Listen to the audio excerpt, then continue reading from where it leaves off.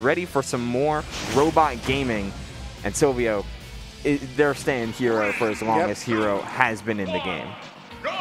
Right, and starting here on Battlefield right now, Silvio already catching the gyro in his own hand, but Zane not having any of it. It is gone off the side now. I like the stagger pressure there by Silvio onto uh, Zane's shield.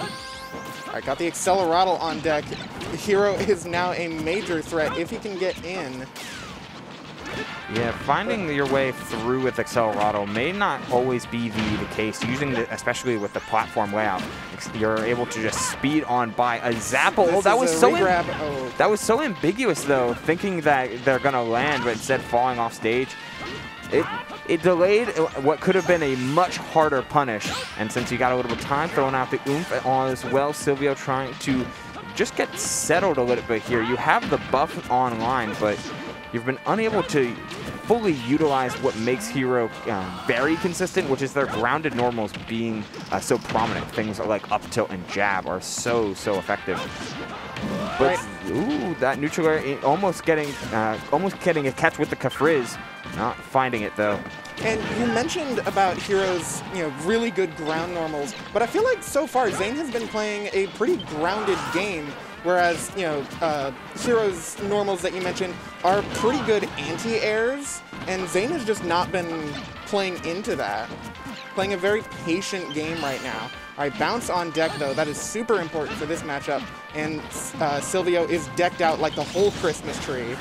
Yeah, Acceleratle and Psyche Up is still online. Psyche Up will take Up up air, being able to chase down, and that's the beauty of Battlefield. Able to reset everything on that top platform, and when you have the stats, you can chase. Just like Ch uh, Zane chased Silvio all the way down low that time to close out the stock with a forward air. These two really en- you know, incentivizing what makes uh, what makes this game so uh, frustrating and so overwhelming is that when you get into advantage, both Rob and to some extent Hero can be thre- super threatening.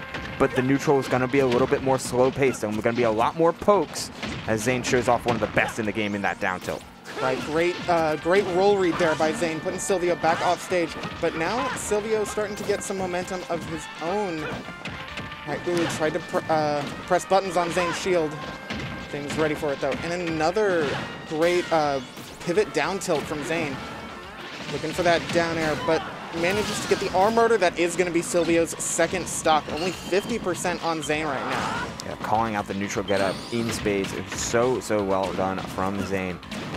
And it really, the ledge trapping in general has been immaculate from Zane, just shutting it down much of Silvio's mix-ups by just short hop naring in place, then uh, proceeding to threaten ledge after that. Look at a couple short hop nairs, really shutting down where Silvio wants to go. And Sid coming down aggressively and going for the... Speaking of aggressive, the Kazapple and Zane finds the up air, getting Silvio's third stock.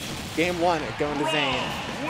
like part of me wants to wonder if that was a misinput, right? If the Zapple, if the Kazap meant to just be a level two, but they fully committed to this. Yeah. Silvio, no reaction in the camera, and it was just, all right, we're full swinging here. If Zane falls into this, great. If they don't, well, Game two. Game two. Still, it, I don't hate the idea of Battlefield when it comes to picking your starter from Silvio, but Rob is just so threatening on this stage in so many different ways. And if you're a character that can struggle with getting out of disadvantage in some cases, and you give yourself uh, so a really solid platform layout for extra defense, Rob is a lot to handle on that stage and and many other stages as the bands coming out from Zane are Pokemon Stadium and Yoshi Story. So anti-cheese and anti-big.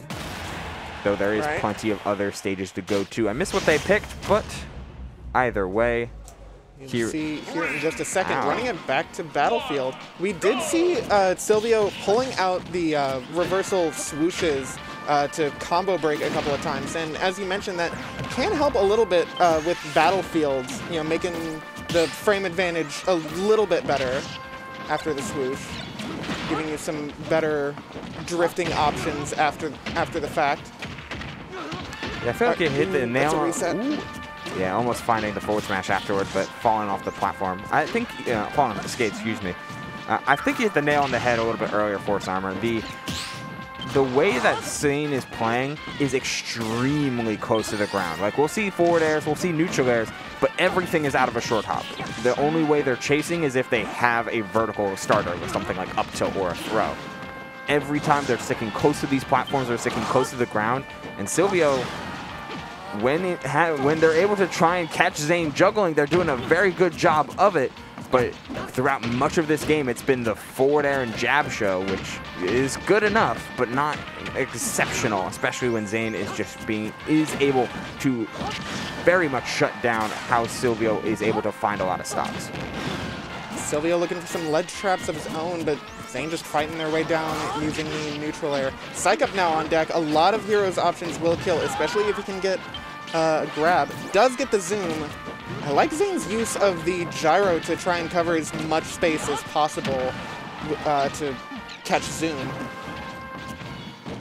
Psyche up still on deck, see if Silvio can make something happen, but the parried back air is going to get rid of it, and a Zane up throw of her own is going to be taking Silvio's first stock.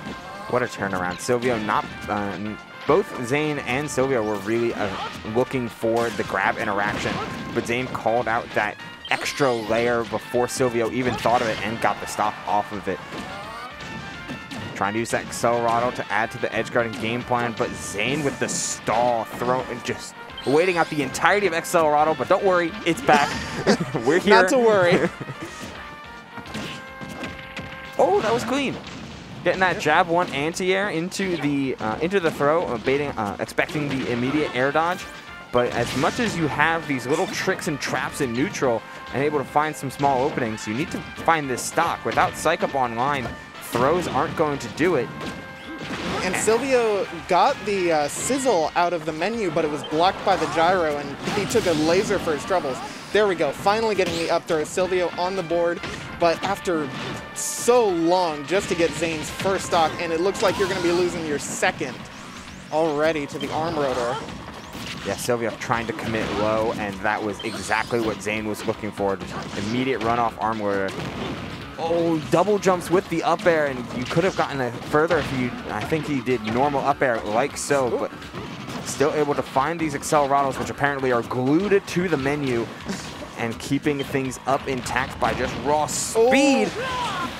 That was such a good down air by Zane. Silvio just barely able to make it back. The jump call out as well. Laser comes out, and Silvio throws in the towel with no jump, not willing to hunt for Zoom, which can be just as much as a help as it is a harmful on a stage like this, where you can land on this top platform and just be in disadvantage. Silvio decides she's got it, and we're going to roll from that. Yep, sometimes it's just, you know, for your mental health, you don't want to go through rod, rod ledge trapping. Let, let me look at that one again. The way that, let's slow this down a little bit. The way that Zane covers multiple options by baiting out Silvio's aggression. Like, we saw both spot dodges there, as I'm going to rewind it here. Just a little bit. So Zane is sitting in shield and Silvio's in the corner, but with Psyche Up Online, the threat of death is very close for both players in a spot like this. Zane choosing to, choo uh, to play a little bit more defensive in the corner, but by flashing shield, you're giving Hero and you're giving Silvio the most tempting option at high percents like this. Psyche up up throw, a threatening, threatening kill, uh, kill move that you really do have to be ready for at inconsistent timings.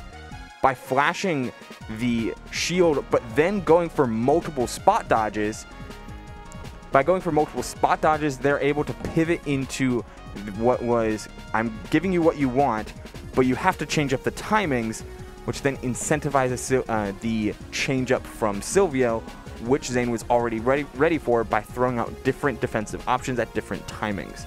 It was really niche, but it really worked out by throw by being able to interchange and interplay between spot dodge, parry, and holding shield.